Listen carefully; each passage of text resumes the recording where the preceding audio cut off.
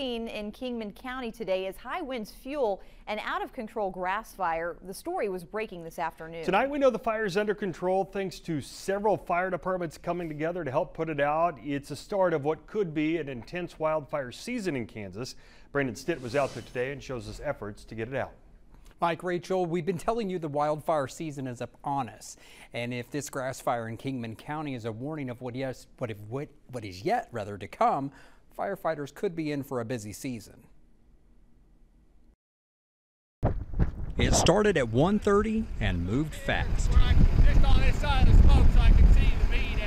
Firefighters from all over the Kingman area came together to try to bring this fire under control and work to protect what had yet to burn.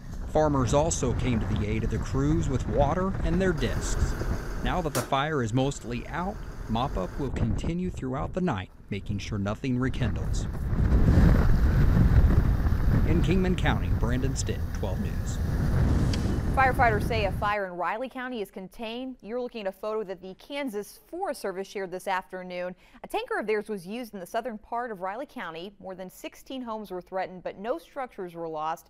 The Riley County Commission declared a local disaster emergency due to that fire. Crews remain on scene to monitor for hot spots.